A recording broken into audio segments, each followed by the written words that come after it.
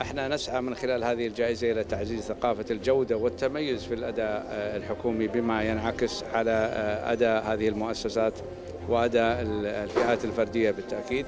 على أمل إن شاء الله أن يكون هناك يعني تحسن في أداء المؤسسات العربية من خلال هذه الجائزة وغيرها من الجوائز العربية. نأمل إن شاء الله أن تحقق الهدف منها ونأمل أن يكون هناك مشاركات إضافية في الدورة الثالثة بإذن الله. إحنا سعداء بالحصول على هذه الجائزة والتي هي إحدى مبادرات المؤسسة منصة نحن التي تم إطلاقها مع بالدعم من يونيسف لتوحيد الجهود العاملة في صعيد التطوع لتوحيد الجهود المبذولة على صعيد العمل التطوعي للشباب.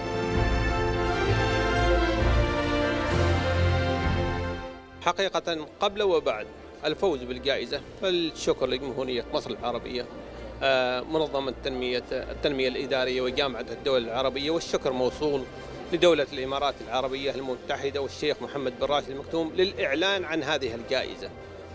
الفكرة نفسها حقيقة تستحق جائزة.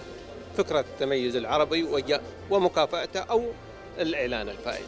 بالنسبة للهيئة حقيقة فازت في مبادرة تنمية المجتمعات. آه إن كان السؤال عن المبادرات فهي مبادرة الأمان الوظيفي أو نظام الأمان الوظيفي وكذلك نظام العاملين بالخارج. أطلقت جائزة التميز الحكومي العربي في جامعة الدول العربية في مايو 2019. وكانت لها أهداف كبيرة لموضوع كيفية تحفيز المؤسسات الحكومية في مجال التطوير الحكومي وأيضا خلق منصة إلكترونية لأفضل المبادرات والمشاريع الحكومية كي تستفيد منها بقية الدول.